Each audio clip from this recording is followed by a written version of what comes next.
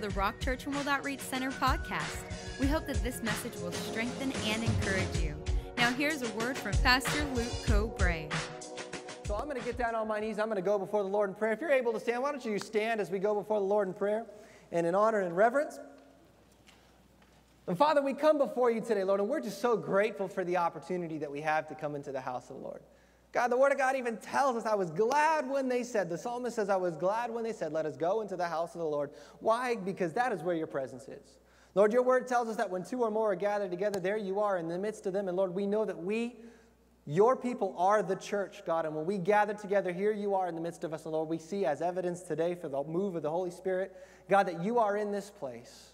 Lord, we don't come to hear from a man or to hear from a woman. God, we don't come to church for entertainment or tradition. Lord, we come into this place to hear from you, and we fully acknowledge that Jesus Christ is the senior leader of this church. So, Father, it's in the name of Jesus that we ask your Holy Spirit would speak to us, to minister to us, to plant the seed of the Word of God into our hearts and into our lives, that as we leave this place, God, that we could cultivate that and water that seed of the Word of God, and it would bear much fruit, Lord, as we walk out of this place, that we would be affected and, and encouraged and equipped by the Word of God to go out and to do and to be full time ministers of the gospels into the workplaces, into the schools, into our families, into our friends, and wherever we might go. Lord, we thank you for all the blessings that you've given to us. And Lord, we thank you that these blessings we don't ask just upon ourselves, but Lord, upon all the churches across the world that are preaching and teaching the wonderful gospel of Jesus Christ. Lord, at no time do we see ourselves as better than anybody, but as co laborers in the body of Christ. So, Father, with that, we ask that you would bless our Catholic brothers and sisters and our Presbyterian and Episcopalian and Methodist and Lutheran and Episcopalian brothers and sisters. God, we thank you that you would set your hand upon Harvest and the Grove and the Sandals on, on the way. God, I ask that you bless Emmanuel Baptist on Ecclesia, on Oak Valley, Abundant Living, Crossroads. Lord, I thank you that all the churches all across the Inland Empire, Lord, too many to mention, uh, would be blessed. Father, we see ourselves as co laborers, all working together to build the kingdom of God. And Lord, we thank you for our brothers and sisters in Coachella, in Riverside, in Temecula, in San Diego, and in Coastal Hills. Lord, we thank you for our fellow rock churches. And God, we thank you that you bless them, encourage them, strengthen them, grow them, and prosper them in all the things of the word And Lord, that they would grow and continue to affect their areas for the gospel of Jesus Christ. And we thank you for that. And we'll give you the praise, the glory, and the honor in Jesus' mighty name. And we all said, Amen. Amen. Well, praise God. If you've got your Bibles, as you're being seated, go ahead and get your Bibles out. Go with me to the book of Matthew. Matthew in the eighth chapter, we're going to look at an amazing passage of Scripture, an amazing event. Very unusual, very unlikely event, but it's in these unlikely events that God really speaks and ministers, and there's some, some great truths and some great revelation. Speaking, if, if you're new, I encourage you, grab a hold of uh, last Wednesday night's teaching, if you turn in that card for Dr. Barron's teaching on Revelation, I'll tell you what, it's just an amazing thought, amazing. It just really spoke to me. Just the word of the Lord came alive. But there's something interesting about these unusual circumstances or these unusual meeting of characters in the Word of God. Tonight, I want to take a, a look at one in Matthew, out of Matthew, the eighth chapter. The title of tonight's message is Great Faith. Great Faith. Now, before we read about this, let's talk about this. I don't want to, I want you to understand what we're talking about, where we're going. Great faith. Now, I'm not talking about quantitative faith, big faith versus little bit of faith. We all have to have faith. The Bible even tells us that without faith, it's impossible to please God. It's something that if we are in this place, as a matter of fact, we can't be saved without faith because Ephesians tells us that it's by grace through faith that we come to know Christ. So it's not about a quantitative faith, and Jesus tells us that, that it's not about the size of your faith that matters, because Jesus says the faith the size of a mustard seed could move a mountain. So we're not talking about quantitative, but what we're talking about today is I want to look at great faith, because you know, we can have great faith or we can have little faith. And remember, I said not quantitative, not a lot or a little, but what I am talking about is the great faith, the type of faith that you and I need to have in order to get through life. In Matthew, the eighth chapter, there's two amazing illustrations, and I'm going to paraphrase the first that actually happened later on in the, in the chapter and come back to the one that we're talking about, speaking of great and little faith. The first part of, or the last part of Matthew, the eighth chapter, Jesus instructs his disciples to get into the boat. Let's go across to the other side. So they get into the boat. You can look this up in Matthew. Um, yeah, Matthew, the eighth chapter. Get into the boat. Let's go to the other side. As they're the, on the sea, The Bible says that a tempest arose, a storm arose, the water came in, and it was overflowing the boat. And Jesus, a man of great faith, was asleep in the back on a pillow. What a sight, what an image. Here the disciples are panicking, they're worried, and they wake Jesus up and they say, Jesus, don't you care that we are dying? Jesus, if you've heard the story, if you know the story, Jesus wakes up, calms the ocean. Says to the ocean, Be still. And the storm goes away, the seas remain calm. And Jesus says to his disciples, O ye of little faith, O you of little faith, little faith. They doubted. They didn't have that faith. See, what happens is life is going to bring storms, highs and lows. It's inescapable. We can't avoid this. We all know this. This is not, this is not anything uh, advanced or, or new to us or a new revelation. Life will bring storms. And if we have little faith like the disciples, like those who followed Jesus, like those who lived with Jesus, like those who walked with Jesus, even when the storm arose, they thought, surely, even though I've got the Son of God in the boat with me sleeping, we're going to die. We can have that little faith, which will get us through. It'll get us through life. We'll find salvation. We'll find uh, a relationship with God. Or we can look to the beginning of Matthew, the eighth chapter and we can be people of great faith. And I don't know about you, but I want to be somebody of great faith. I want to look back at my life and I want to say that was an act of great faith. That if God would look back at me at the end of my life, as I stand before the, the throne of judgment and as I recall my life and as God and I uh, review my life, that faith in my life would not be an issue of conversation.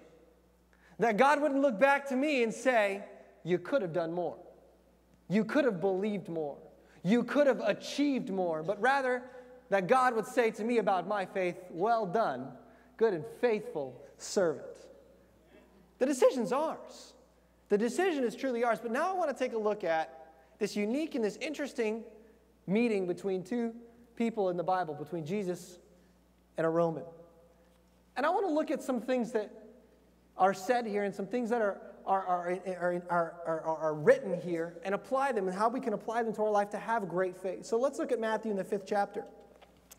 Ma- I'm sorry, Matthew in the eighth chapter, verse number five. Excuse me, Matthew in the eighth chapter. Now, when Jesus had entered Capernaum, a centurion came to him, pleading with him. Verse number six, saying, Lord, my servant is lying at home, paralyzed dreadfully tormented. And Jesus said to him, I will come and heal him. Now, an interesting thought here. Here's just an interesting thought. Jesus says, I will come and heal him. You see, Jesus, before we go any further, Jesus is the only one that can come and heal. Jesus is the only one that can come and deliver, that can come and provide. See, God, there, there's a statement here that Jesus is making to all that hear, that all that witness, that all that read, that Jesus says, I will come and heal. For example, let me give you this as an example. You call the church because you have a family member that's sick, much like the person of this in this story. I need you, my, my, my father's in, in, in, in the hospital. I need you to come. See, a pastor cannot say, I will come and heal him. A pastor can simply say, I will come and pray for him. Jesus is the source. And Jesus makes a very abrupt and a very, a very literal statement to this Roman. And we're going to look at this in a little bit depth, but I want to point that out to you. I will come and heal him. The centurion answered and said, Lord, I am not worthy that you should come under my roof, but speak a word, and my servant will be healed. For I am also a man under authority, having soldiers under me. And I say to this one, Go, and he goes, and to this one, and to another, Come, and he comes, and to my servant, Do this, and he does it. So the Bible tells us this is a Roman centurion. Well, we know that a century is a 100, so this was a captain over a 100 people. He had a garrison of soldiers that he was responsible for 100 soldiers. Now, that is nothing to be scoffed at. That is nothing to, you know, this is a, a literal and, and, a high position or a high ranking authority within the army to, be, to have the responsibility of 100 soldiers underneath him. And so he states, I understand this, that I tell somebody come, they come, I tell them to go, they go, I tell them to do this, and they do that. So he goes on to say, when Jesus heard it, he marveled. And he said to those who followed, Assuredly, I say to you, I have not found such great faith, not even in Israel. Now, this is why I said this is very interesting. This is a very unique situation. Why? Because here is an outsider, somebody that is not born into the 12 tribes of Abraham, somebody that has not been uh, birthed into the family of God, somebody that has not been, get out of here, confetti, somebody that has not been brought into the family of God, but rather this is somebody on the outside who doesn't know what we know. Yet, Jesus says, besides all of that, I haven't found faith like this man in all of Israel. He's making a clear statement here.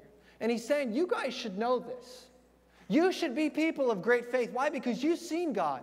You've seen the prophecies. You've seen the power of God. And yet, here this outsider who knows nothing comes and says, Lord, I know you can do it. All you got to do is say it. And Jesus marveled. Remember, I said, I want to be a person of great faith. I want to challenge you to look at your life and say, I want to be a person of great faith too. To the point where God looks at us and marvels and say, wow, beyond the circumstances, they rose above the expectations. Beyond the trials of life, they went over and above what everybody else thought they could do. I want to have great faith. Nay, I want to have marvelous faith. Because Jesus marveled. And he said to those who followed, Assuredly I say to you, I have not found such great faith in Israel. And I say to you that many will come from the east and the west and sit down with Abraham and Isaac and Jacob in the kingdom of heaven. But the sons of the kingdom will be cast into outer darkness, and there will be weeping and gnashing of teeth. Verse number 13 goes on to say Then Jesus said to the centurion, Go your way, and as you have believed, let it be done for you. And his servant was healed that same hour. What an amazing story. Here, this outsider comes to Jesus and says, My servant is tormented, and all I need you to do is speak. And Jesus says, As you believe, it's done. Go your way. And as he was departed, as he left, his servant was healed. What an amazing statement. And I, I want to look at this idea of great faith. I want to look at this idea of, of, of faith that, that makes God Himself marvel and how we can apply this to our lives. To look at this story, to look at this situation and say, what can we learn from this and what can we do and apply to our own lives, to our own walks, so that we can get over the shortcomings of life and be people of great faith. That we can accomplish more than we've ever dreamed of. That we could achieve more than our families ever thought. That we could attain more than we ever thought we were capable of doing because that is God's intent for you, church. Listen, God's design for you is to be people of marvelous faith. You may have grown up where your parents or your teachers or those around you said you'll never achieve or you'll never amount to anything. But God's intent for you is that you would far exceed the expectations of those around you those that your family, those who spoke into your life, even those who said, listen, you're going to do great and mighty things. How about that? That you would far exceed what they even thought. Because it is God's intent for us to be a people of great faith. So that when life storms happen, like the disciples that followed Jesus, when the wind and the waves come into the boat and they begin to drown the boat out, that we won't have to go to Jesus as he sleeps on the pillow and say, Lord, don't you care? But rather we could say, well, you know what? If it's good enough for Jesus to sleep, I'm going to pull out my little pillow right now and I'm going to rest too because obviously God is in my boat. So we got to be people of great faith. So today we're going to look at some things. Listen, I'm, let me just share this with you. You may not have known this. Did you know that the gospel is simple? It's incredibly complex, yes. We have volumes written about that to study in the Greek and the Hebrew and all the different meetings and sub meetings and stories and how everything. But did you know that at the root of it, it's very simple? Oftentimes we say, man, I just don't understand it. I can't get it. I, I just can't. I, you, pull out, you pull out these big monster dictionaries, and I just can't understand it. Did you know it's simple? It's very simple. And today, I want to keep with that thought. It's simple. Great faith is not difficult. Great faith is not hard. Great faith is not hard to comprehend. It's not beyond your understanding. It's very simple. And sometimes it's those simple things that we got to kind of slap ourselves and say, wow, that was so simple, I overlooked it. So today I want to look at three very simple things from the Roman centurion in Jesus' conversation about great faith so that we can walk out of this place equipped. You see, you don't come into this place just to get word into you.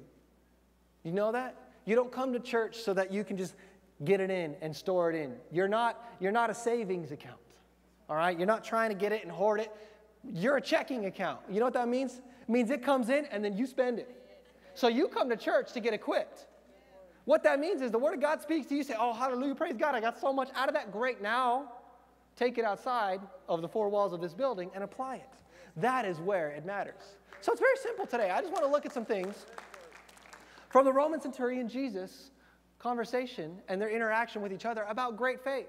Looking at a person of great faith. So I'm going to say the statement, a person of great faith, and then I'm going to complete that sentence. So it's all basically just one sentence. Number one for tonight, a person of great faith isn't wrapped up in themselves.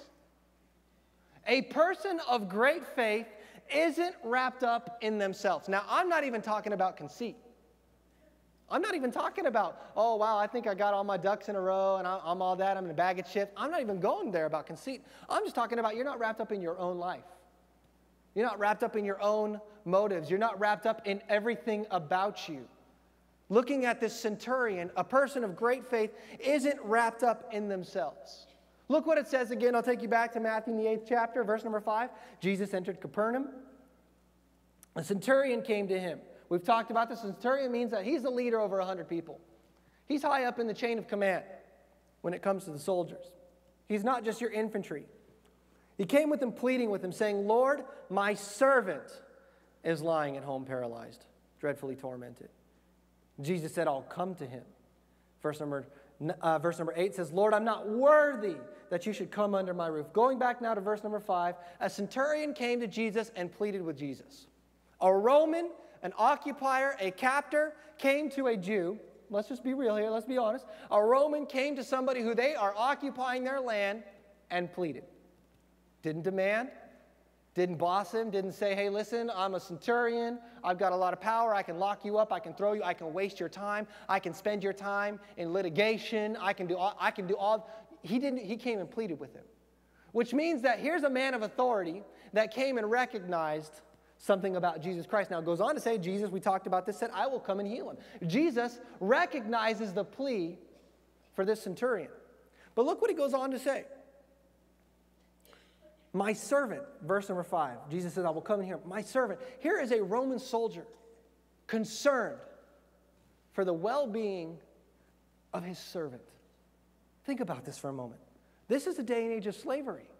This is a day and age when, when if you went into debt and you couldn't pay your debt, you became a slave, a labor slave. And here's this man that this society that places little value on, on human life. As a matter of fact, the church history tells us that one governor said about Christians that I'll have them crucified because they're so stubborn that they're either guilty or because of their stubbornness deserve, deserve to die. That's the, that's the value of life that they had. So here's a Roman soldier that was trained in this, that was brought up in this, and that says, my servant is sick. To the point he makes a plea to Jesus Christ. He didn't have to care. You see, many people came and said, Lord, my son is sick. Lord, my daughter is sick. Lord, my mother is sick. But here's this man of authority that says, My servant is sick. He's not wrapped up in his position. He's not wrapped up saying, Well, yeah, he's a servant when he dies, I'll get rid of him or I'll get another one or they'll send me another person when they die. It, he has a value on life. He's not wrapped up in his position, he's not wrapped up in his title, he's not wrapped up in himself. And Jesus says, I'll come to him. And then he goes on to say, No, I'm not worthy that you should enter my house. He says, I'm not worthy that you should enter my house. Think about this for a moment. Here's a man of authority. Here's a man that walks around town with his head held high. You know, he doesn't look up to anybody in his town. He looks down on everybody in his town because he is of the occupying force. He is the symbol of Rome to the people around him. And here he says, I'm not worthy that you should even come to my house. Just say the word, and I know my servant will be healed. He wasn't wrapped up in his position.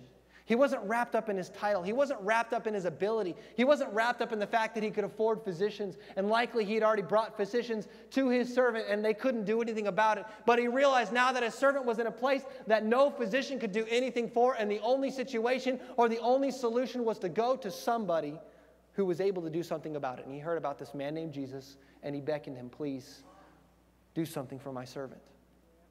He pleaded with him. A man of authority, a man of position, a man of stature.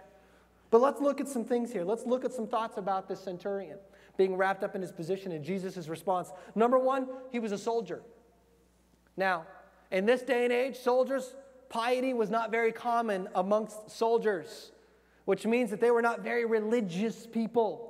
Soldiers oftentimes were, were brutal. They had seen the, the horrors of life. These were the ones that were, that were responsible for crucifixions and imprisonments and arrests and, and all sorts of different heinous and horrible things that they had to do. So, piety was not a part or a common part of their life. So, here's a strike against this man in his position. He was a soldier. Secondly, or number two, he was a Roman. This means that to every Jew, in the city that he was a symbol of the occupying force that came in and took the land from the Jews. They hated Rome.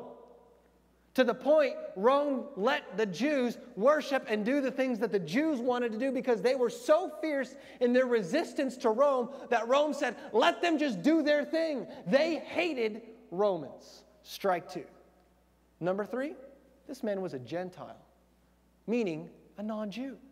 He wasn't of the tribe or the 12 tribes of Abraham. He, he wasn't born in the, in, in, in, the, in the promised land, you know, and, and didn't grow up reading the Torah and memorizing the Word of God. He was an outcast, an outsider. Three strikes against him. And Jesus says, I will come. I will come. Do you know what that says to you and I? That says to you and I, it doesn't matter where you come from. That says to you and I, it doesn't matter how wealthy or how poor you are. That says to you and I, it doesn't matter where your past has brought you or what your position is now, that God wants you to come to Him open hearted and say, I need you. And when you do, when we become this person that relieves ourself of our own selfish ambitions or our own thoughts about ourselves, when we stop looking out for number one, God says, I will come and I will heal you. I will come and I will heal you. I will come and I will provide. I will come and I will bless. But it took somebody, it took somebody from the outside saying, Lord, come, my servant is in need, and I know you can do this. We've got to not be so worried about our own image, not so wrapped up in ourselves to be a person of great faith. You see, the more humility that you and I have, the greater faith we live because we don't rely on ourselves. We don't rely on our strength. We don't rely on our power. We don't rely on our own will to get through things, but rather now, because of humility, we say, like Chris's prayer today during worship God, I must decrease so that you in my life can increase. And when you in my life increase, then my faith grows to the point where I am a person of great faith.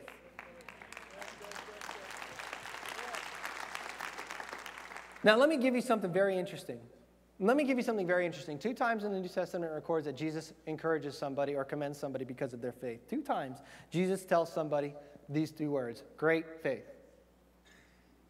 I have not seen such great faith in all of Israel. And, oh, woman, great is your faith. Did you know the two times Jesus commends people in the New Testament that are recorded for us, that he commends people for, for great faith? Did you know that both times they were Gentiles? You're not getting it. Listen, listen. Talking about getting wrapped up in yourselves. Here's the Jews. Here's the people that read the Word of God. Here's the people that had read the stories, that had been taught the stories from the moment they were born, they heard about the greatness and goodness of God. Here's the people that grew up with an image knowing that they are the chosen ones. They had an identity. And what had happened is they had gotten so wrapped up in their identity that Jesus said, oftentimes, How long will I deal with you, you faithless generation? Oh, you of little faith, like he said to his Jewish disciples. But then these two Gentiles come, and he says to them, I have not seen such great faith for, in all of Israel. Could it be that God is saying to us, get off yourself, get off the title of Christian, get off what society says, get off the look, get away from all of this and that, and focus on what really needs to be focused on your relationship with God so that you can move beyond yourself and be a person of great faith. Interesting that Jesus speaks to the Gentiles of great faith, but the Jews are of little faith. In 2 Kings in the fifth chapter, if you got your Bibles, keep your Bibles in Matthew the eighth chapter. In 2 Kings, go with me to, let's look at a very similar story. Very, very similar story. 2 Kings, the fifth chapter. You guys with me tonight? You're quiet in this Presbyterian church. 2 Kings in the fifth chapter. A man by the name of Naaman is sick. Now, interesting, Jesus isn't, isn't, isn't on earth at this time, but there's a prophet. The prophet is the representation of God. Naaman, much like the Roman centurion, is a leader of many soldiers. Naaman is a military leader. Naaman is sick. Naaman pleads for his health. And Elisha, he goes to the prophet, to Elisha. Verse number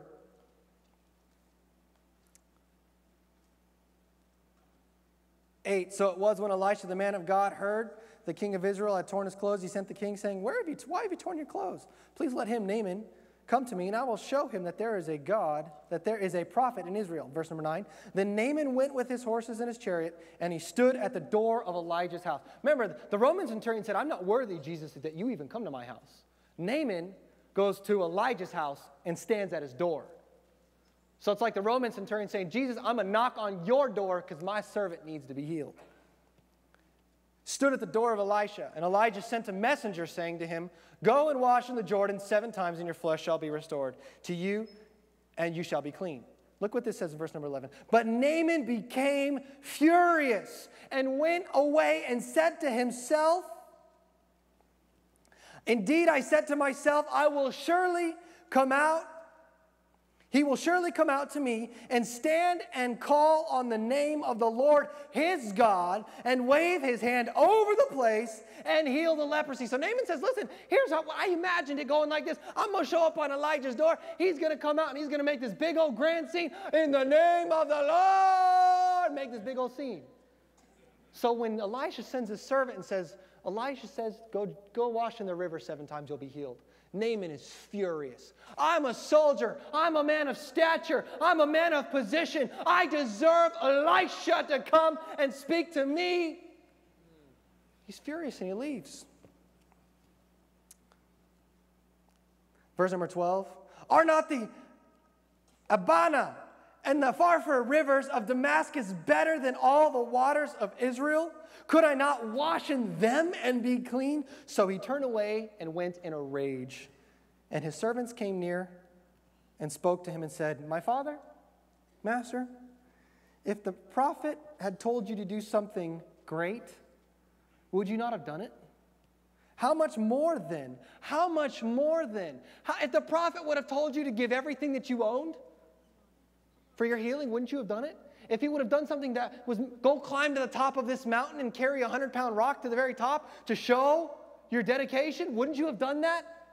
How much more then, if he says to go wash and be clean, should you go wash in the river and be clean? Sometimes in life, we expect God to show up in great and grandiose ways. Sometimes we expect God to speak to us with the heavens open up and the earthquake and the rocks and the fire. And God says to us small and still things and, and subtle and, and little changes in life, and we say, No! Because we're so wrapped up in our image. And well, God, I deserve this. I've worked so hard. God, I've done this and I've done that and I've done this. And I deserve for you to listen to me. We get so wrapped up in our image that we lose hold of the faith of God. We can't get wrapped up in that, guys. We can't get wrapped up. Don't get so wrapped in your ability or your image. You know why? Because you can't do anything. Jesus says in John the 15th chapter, without me, you can do nothing. So the more humility we live in our lives, the greater our faith. The more humility, the greater our faith. All right, I'm moving on because you're staring at me like an accountant in gate.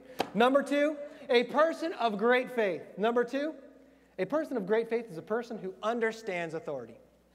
A person who understands authority. Matthew, remember I had you stay there or put a thumb there or a ribbon there? Matthew in the eighth chapter, verse number eight. The centurion answered and said, Lord, I'm not worthy that you should come under my roof, but only speak a word. Just say it, and my servant will be healed. For I am also a man under authority, having soldiers under me, and say to this one, Go, and he goes, and another, Come, and he comes, and my servant, Do this, and he does it. There's an amazing statement here that we often pass over because the soldier gives us his resume. I can speak and somebody does it. But did you see what he said before he said that? Did anybody catch what he said before? He says, I can tell somebody to do something and they'll do it. Did, you, did anybody catch what he said? He said, I am a man, what? Under authority. You know what that means? Do you know what that means? That means he recognizes that he's not the commander in chief. He recognizes that, yes, he can dictate orders and they'll be followed, but when somebody above him dictates orders to him, that he also, like the people below him, must follow those orders. And so he understands authority. And so he comes to Jesus not just saying, I'm a person that if I speak, it gets done. I'm a person that I've seen people speak and I got to get out there and do it. He understands authority. Not only are we over, more than conquerors, like the Bible says, but listen, guys, we are under authority. We have got to understand and recognize authority in our lives to be people of great faith. Are you with me tonight? Do you know what authority means? Let me just give me a different word for authority. Authority equals obedience.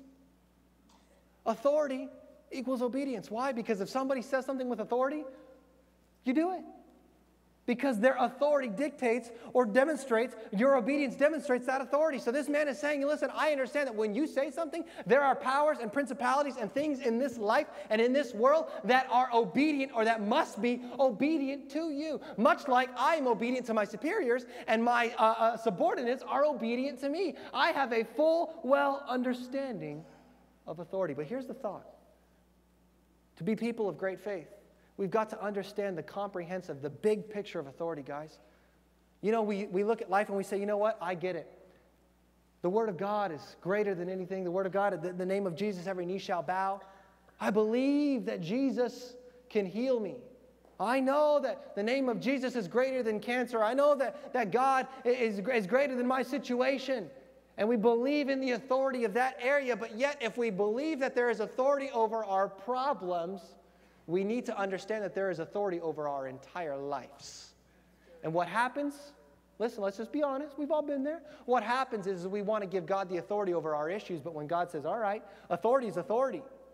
If you want to be under the authority of God, you want Him to have authority over your issues or your faith or whatever it is that you need blessings, healings, whatever it might be then you also need to understand that you are placing yourself under the authority of God. That means that the things that are not pertaining to your faith, but rather to the walk of life, you need to give God authority of. You want God to show up in your life, but you don't do anything in your relationship about it because God has authority over here, but none over here. And then we wonder why we are people of little faith. Because we don't have a comprehensive idea of authority. You come to church I come to church and expect God to intervene, but on Monday, Tuesday, Wednesday, Thursday, when God says do this or do that, I say, God, it's not important enough. Why? Because I don't give Him the authority in my life. How then can we be people of great faith? Listen to me. How then can we be people of great faith if we don't hand the authority of God over to our entire lives? To our entire lives. The worst thing we could do in our lives, oh, church, if you get anything, get this. The worst thing that we can do in our lives is to diminish the authority of Jesus Christ. The worst thing you can do in your life is diminish the authority of Jesus. How do I diminish the authority of Jesus Christ in my life? What you treat as common will become common. Have you ever noticed that when President Barack Obama, George Bush, Bill Clinton, George Bush before, Ronald Reagan, from ages, ages, ages, ages. Did you ever notice that when they address the nation, they wear a suit and a tie? Do you ever notice that the presidents don't dye their hair? You know why? Because it's a position of authority. And if they get on TV with a t shirt and shorts, oh, I'm on vacation, I got a Hawaiian shirt on today, it's casual Friday. they diminish the, the position of authority. And soon after a while, what you treat as common will become common, and that non common or that highly coveted and highly respected position will become a position of common, and a position of, of, of, of, of, of tradition. The worst thing we could do in our life is bring the authority of God down to our level. I remember there was this movie. Oh, guy, there's this movie. It's always on TV. And they were, they were talking around the dinner table, and this guy was praying. And he started to describe how Jesus looked to him. And another person described how Jesus looked to him. Oh, I'm, well, I, I see Jesus like this, and I see. Je- I have never been able to make it past that part of the movie. Here's why. Because when you make Jesus your homeboy, when you see Jesus as little baby Jesus in the manger, you know what you're doing? Do you know what you, do you understand? You might laugh at it. You think, oh, I know what movie you're talking about. But do you understand what you're doing? You are diminishing the authority of Jesus Christ and bringing it down to a place of common. And how can you expect great results from something that you have made common in your life? Oh, church, we have got to be a people that understands authority, that has respects and fears God. Yes, God is loving, but God is not this gray haired, gray bearded grandfather in the sky that wants to give us hugs and kisses all day long. God is a God to be respected, to be feared. God is a God to be held on a pedestal. God is a God to be held above all things and to never, never, never be brought down to a position of commonplace.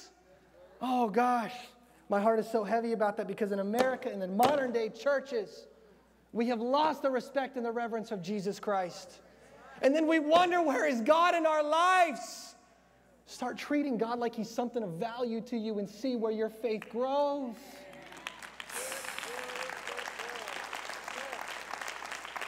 I have gone so far too long, and I know that you want me to be done. So, number three tonight, a person of great faith, number three, has great belief in Jesus Christ. A person of great faith has great belief in Jesus Christ. Great belief. Great belief. A person of great faith has great belief. A confident expectation saying, I know that something is going to happen. A person of great faith has great. Listen, the Roman centurion didn't go to a witch doctor. The Roman centurion didn't seek out some well known healer. He went to Jesus. Why? Because he had a faith and a belief that said, This man will heal me. Or my servant, the woman with the issue of blood, said, I have a great belief, and if I could just touch his garment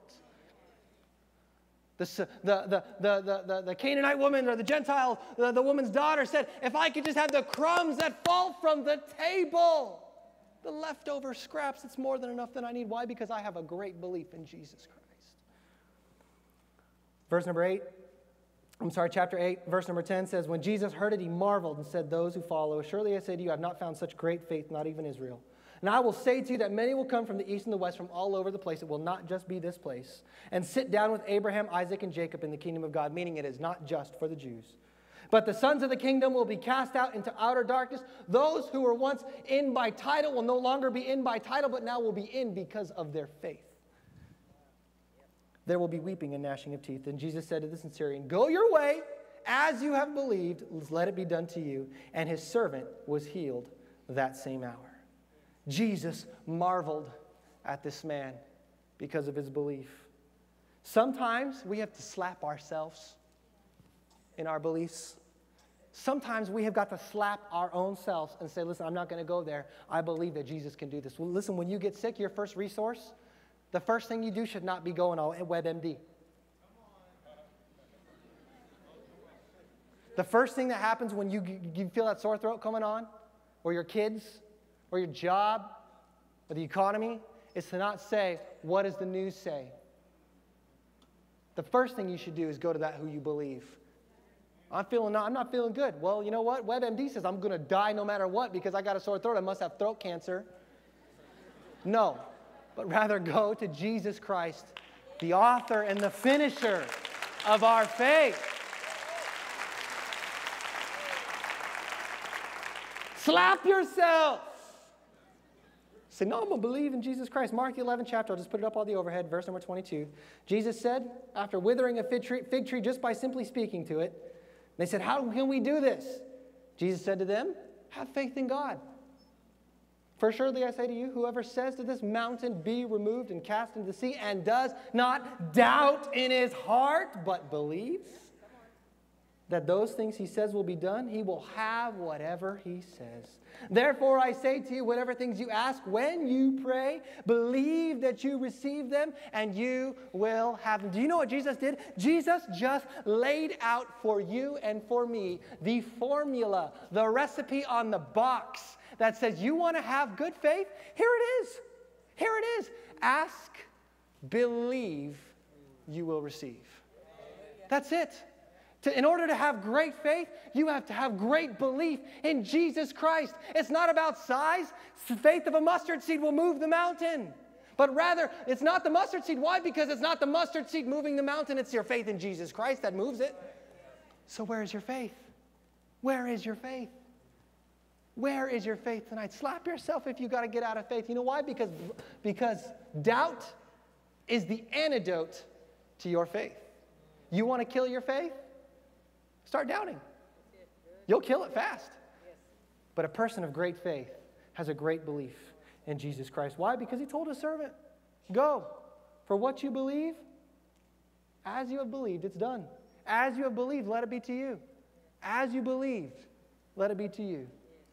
Church, people of great faith, as you believe, let it be to you.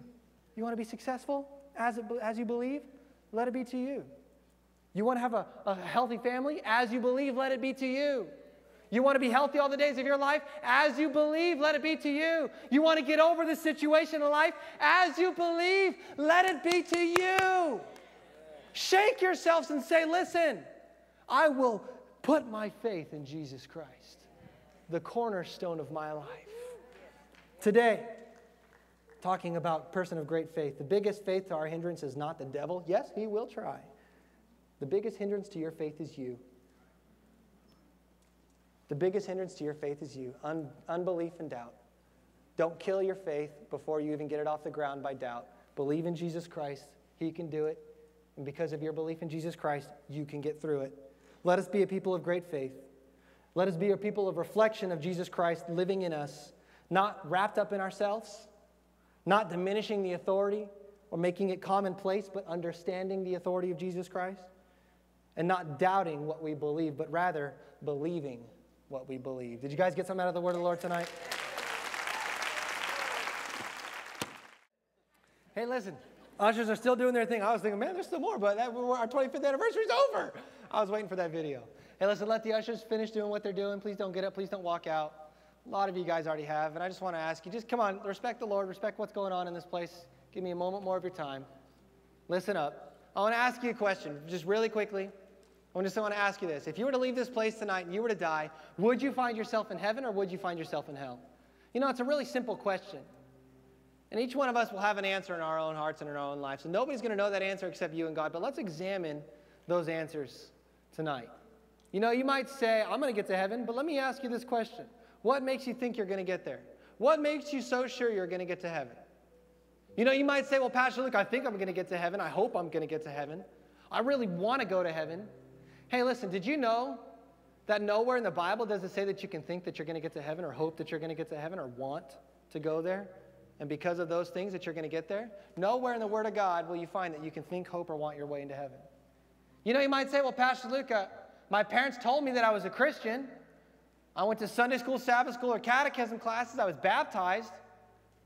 Doesn't that mean that I'm going to get into heaven? Did you know that nowhere in the Bible does it say that you can get into heaven because your parents told you you were a Christian, because you've given yourself the title of Christian, because you've called yourself a Christian all your life, because you got a cross or St. Christopher around your neck?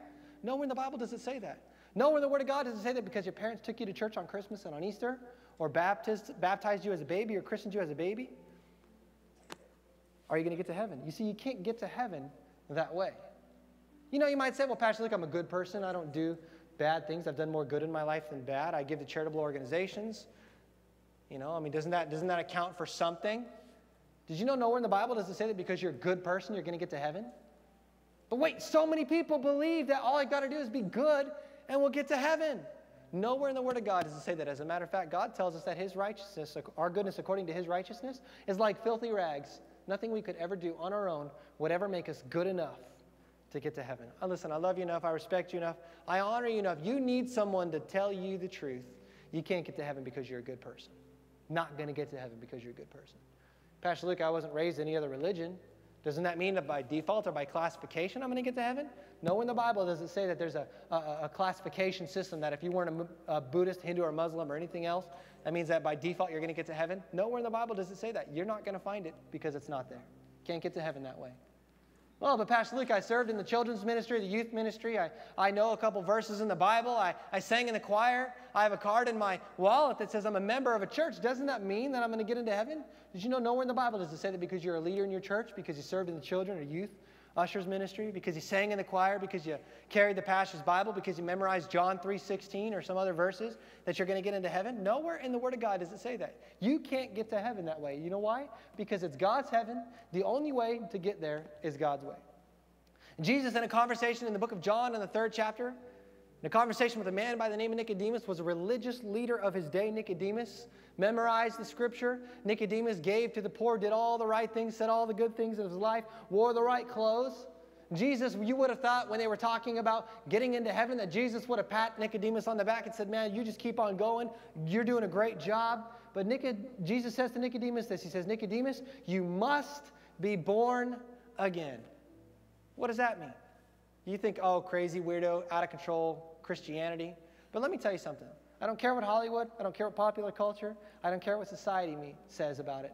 The only way you and I get to heaven is God's way, and that is to be born again. And from the beginning of the Bible to the end of the Bible, it's always meant the same thing. Here's what it means that you've given God all your heart, you've given God all your life. That's it. It's that simple. Remember, I told you this was easy.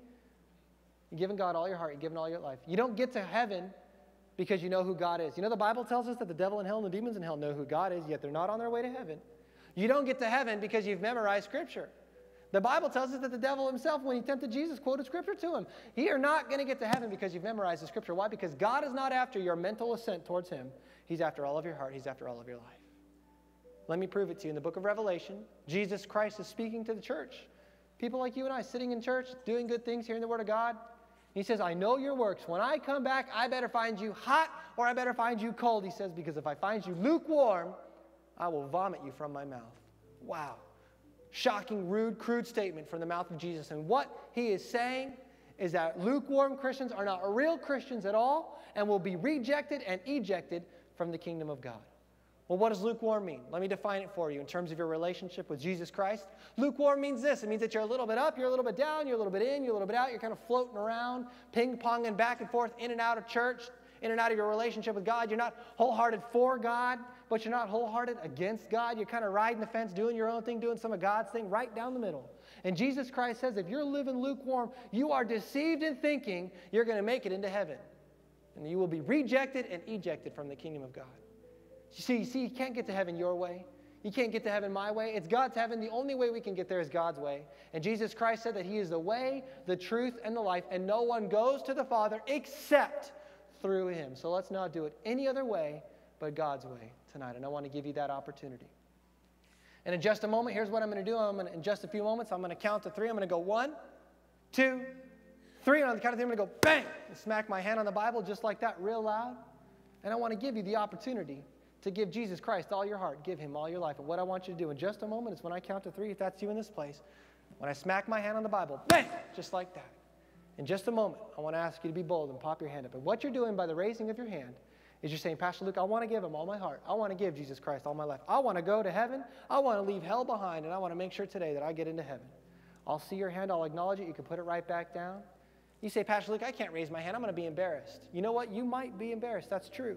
But let me encourage you, get over it. Why? Because Jesus says, if you confess me before men, I'll confess you before my Father. But if you deny me before men, I'll deny you before my Father. The decision's yours. God's not a manipulator, He's not a conniver. He's not going to force his way in or make his way in. You say, Pastor Luke, that's great. I appreciate that. You find God your way, I'll find God my way. We'll all get there the same. All roads lead to heaven. Let me tell you something. All roads don't lead to heaven. That's like saying all roads lead to the moon. The only way you and I can get there is God's way. And I love you enough. I respect you enough. I honor you enough to tell you the truth, to not beat around the bush and to not play games, but to tell you like it is, right out of the Word of God, that you've got to give Him all of your heart. You've got to give Him all of your life. There's no other way. So the decision's yours today. Who should raise their hand? If you've never given Him your heart, you've never given Him your life today, just a moment. If that's you, pop your hand up. I'll see it. I'll acknowledge it. Put it right back down. Who should raise their hand? If you're not sure, maybe you did this as a kid, you know, but you never followed through with it. You did it. I see the hand. I see that. I see those two hands. We'll do it all together. But I got you, girls. You did this as a kid, never really followed through it. Maybe a Billy Graham or Harvest Crusade. If that's you in just a moment, I want you to get your hand up. If you've been living lukewarm, doing your own thing instead of God's thing, hey, you've been running from God instead of to God today, let's make this the day that you go forward in your relationship with God. Ensure your place in heaven, denying hell for eternity. You say, Pastor Luke, I don't believe in hell. I don't care if you believe in hell or not. Whether you see it or believe it is different. It's, it exists whether you believe it or not. It's like saying, I don't believe in semi trucks. You're going to stand on the slow lane of the freeway and meet one face to face. Hell is a real place, heaven is a real place. We're destined for heaven. It wasn't created, hell wasn't created for us, but it's your decision. You got to give him all your heart. You got to give him all your life. Finally, if you've been running from God instead of to God, in just a moment, if that's you, get ready. Hands are already going up in this place. If that's you, don't let this moment pass you by. Today is the day of your salvation. Here we go. I'm going to count. If that's you, get ready. Whether wherever you're at, from the front to the back, foyer, if you're watching by camera or online watching, that's you. Just get your hand up, pop your hand up in just a moment. I'll see it, I'll acknowledge it. You can put it right back down, and we'll move forward in your relationship with God. Here we go. I'm going to count to three. If that's you, get ready. This is your day. Today is the day of your salvation. Ready? One, two, three. Let me see your hands in this place. I saw those two, three, four. I see you. Five. I see you. Is there a hand over there? No, that's not a hand. You're scratching your head. You scratch your head, I'm going to count you. Six. I see you. Six wise people. I see my friend. Six wise people. Anybody else in this place today? Six wise people. Seven. I see you. Eight. I see you. Eight wise people in this place today. Anybody else in this place say, I want to give them all my heart. I want to give them all my life. In the family rooms, is there, anybody in the family rooms? In the back, in the front, wherever you're at, come on, if that's you in this place today. Anybody else in this place today? Eight wise people say, I want to give them all my heart. I want to give them all my life. If that's you in this place, come on, where are you at? If there's eight, you know there's 10. Where are you at, number nine? Where are you at, number 10? You say, man, I wonder if I should. Come on, you should. You're saying, I wonder if this God ever shut up. Maybe if you got your hand up, we'll move forward if that's you in this place today. Come on, quit playing games with God to make today the best day of your life. Make today the rest of your life. Anybody else in this place? Eight wise people. Anybody else? I don't want to miss this, and I don't want you to miss your opportunity. Anybody else today? I'm going to close this up right now. Anybody else? Well, praise God for eight wise people. Hallelujah.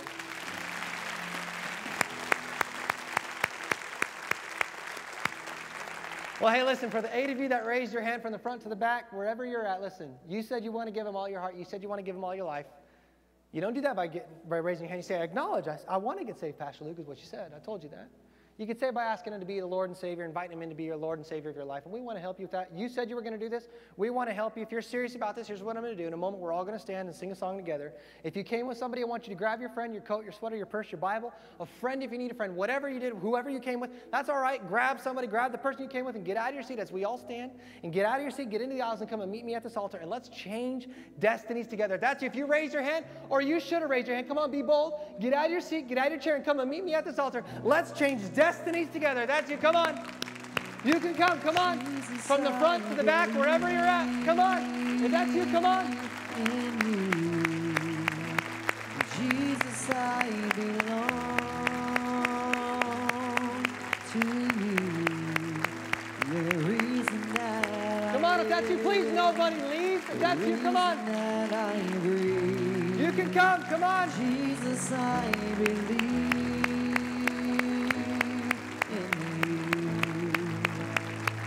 come. We'll wait. Come on.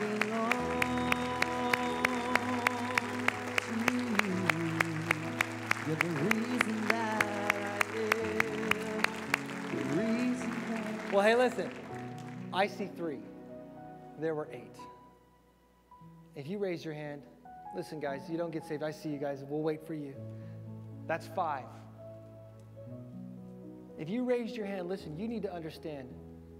You need to have somebody that loves you enough to tell you the truth. You don't get saved because you popped your hand up in a church. You get saved because you give them all your heart, you give them all your life. Get out of your seat, get out of your chair. Let's get serious about God today. Come on, we'll wait for you.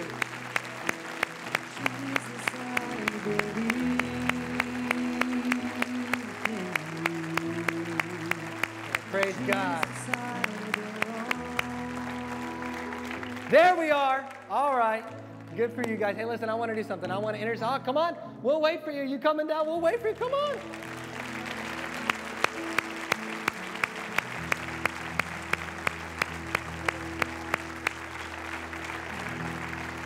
Praise God.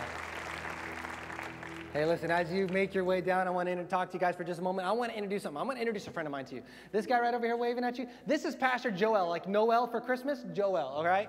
Really cool guy. Pastor Joel is going to do a couple things. He's going to take you right over there. Nothing weird goes on, I promise. I'm as weird as it gets. You, you survived me, you made it through it, all right? He's going to take you right over there. He's going to lead you in a prayer. You don't get saved by raising your hand, you get saved by asking Jesus Christ to be your Lord and Savior. He's going to lead you in a prayer. Secondly, he's going to give you some free literature, some things to help you get strong in your walk with God. And the third thing he's going to do is going to give you a friend. We give away friends here at the church. Somebody that will come alongside of you, meet you, meet with you before service, teach you some things about the Word of God to get you strong for a couple of weeks. They're called spiritual personal trainers. Like you go to the gym, you get a personal trainer, a Christian personal trainer. I promise they're not going to make you do any physical work. They're going to make you do some heart and spiritual work, and that's, that's something that they'll do. But they're going to get you strong so you don't go back to the life that you came from. So if you guys would just go to your left, my right, right over there with Pastor Joel.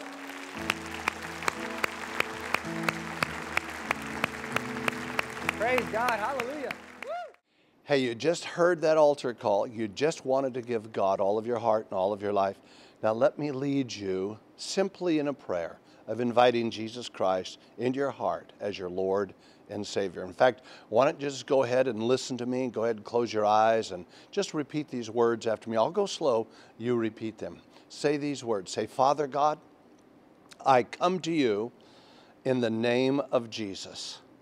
I believe that Jesus Christ is your only begotten Son and that you sent him for me and that he died for me on that cross at Calvary. I believe that his blood washes away my sins, that I am now a new creature in Christ Jesus. And I thank you, Lord. I receive you now and forever as my Lord and as my Savior. I'm going to turn from sin and I'm going to turn with all of my heart and all of my life to you, Jesus, as my Lord and as my Savior. Let it be known in heaven as well as upon the earth that I am born again. I'm a child of God, that I'm saved, and I'm headed for heaven and denying my presence in hell. Thank you, Jesus. I'm alive forevermore. Love you so much. God bless you guys. Everybody just say amen and receive Christ as your Lord and Savior. So talk to you later. God bless you. Bye bye.